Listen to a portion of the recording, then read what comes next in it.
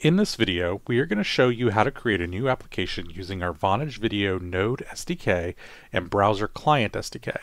This demo will create a bare-bones video chat room much like our basic video sample demo, but it's intended for you to see how a brand new application can be created from scratch.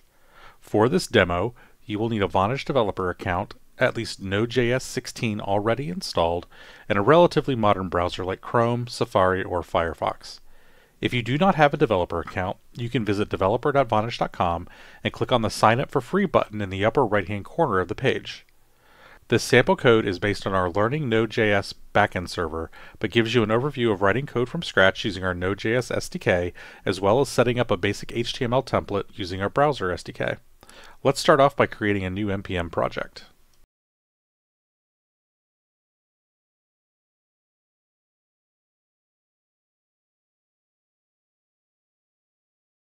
We will need a few packages to go ahead and install that we will use in our application. We will use our Vonage server SD, our Vonage video SDK, Express to handle rendering the web page, Twig for templating, and dotenv for pulling in some configuration. The next thing we'll need to do is set up some of our configuration for our application.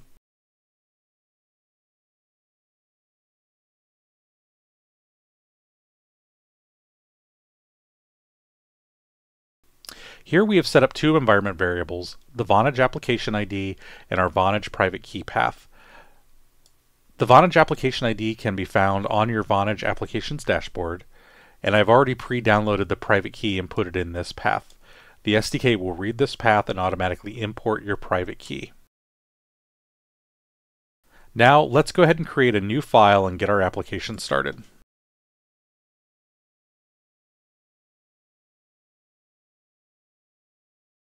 First, we pull in the dependencies for our application. We have our Vonage Video SDK, which I've renamed to Vonage Video, Express for handling building and running the website, dotenv for pulling in our configuration, as well as Path, which we'll use here in a moment. The first thing we'll need to do is set up a new Vonage Video uh, SDK. Here, we do a const Vonage equals new Vonage Video, and we pass in our application ID and our private key. Since we've set these up with .env in our .env file, we can pull these in through process.env and it'll automatically be pushed into the SDK. The next thing we'll want to do is set up Express. Now for this we're going to use just one single route, so it's fairly easy to set up, but we will be using it anyway. So here we'll have const app equals new express. We will set a views directory to pull our HTML page from, and we're going to tell Express that we're using Twig as our rendering engine. And for now, we're going to go ahead and just set up a basic route on forward slash, and that will just return hello. And we can set up a listen command. So now if we visit localhost 3000, we should get hello. Now, this doesn't get us any video information, so let's go ahead and set up the backend part of the video.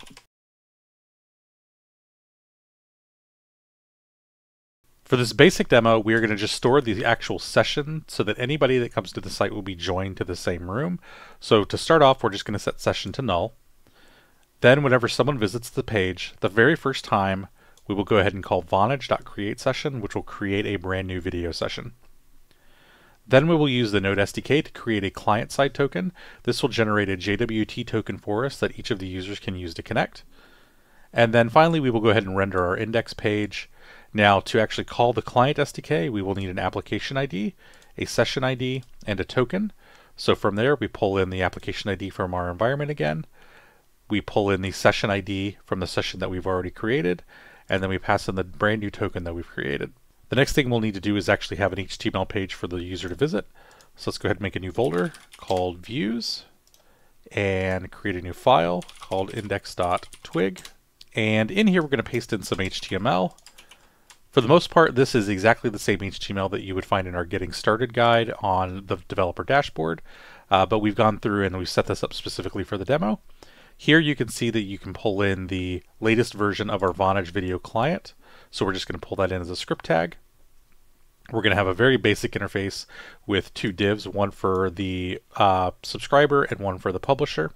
This will be the small video preview for yourself, as well as a larger video preview of anybody else inside the demo itself. And here we pass in our three bits of information. So we need an application ID, which we pass in through application ID. For Twig, you just surround them in double curly brackets to pass in a variable, as well as our session ID and our token. The rest of this is fairly standard Vonage Video client SDK. We're going to set up a error handler just in case anything goes wrong. It'll alert that out to the console. And then we're going to go through and create an initialize session method. This will go through and initialize our session. It takes our application ID and session ID from before, and it will set up a new publisher window. So when uh, we create the publisher, it's going to go ahead and append it to our publisher div up here at the top. Then we're going to go ahead and create uh, connect to the session. So once we call session.publish, it will take and push us into the publisher that we created up here. And then session on stream create will wait for any new incoming streams to be created, and these will append them to the subscriber div that we have set up. So these will be the that'll be the larger video screen and then we will call initialize setup or initialize session to get that running. So now let's go ahead and restart our server. So now, if we go ahead and refresh our screen, it'll ask us for uh, access to our webcam, which I've already given my browser, as well as our microphone. And so here we can see myself in the small little preview window. Now we don't have anybody else connected, so there's nothing in the larger window. Let's go ahead and copy that. If you are using this on a local desktop, make sure that either you have muted your browser or that you have are wearing a set of headphones, because uh, we're going to open two windows and this can create some feedback. Uh, but we're going to go ahead and paste this in, and we'll give myself access to this. And now you should be able to see both myself in the preview window as well as the larger window. If I pop back here and let me go ahead and mute both those tabs. Uh, we can switch between these two tabs and while it doesn't actually change because we're using the same camera, we actually have two people assigned to this video session and everything is working. If you have any questions about the Vonage Video API, feel free to check out our documentation at developer.vonage.com forward slash video.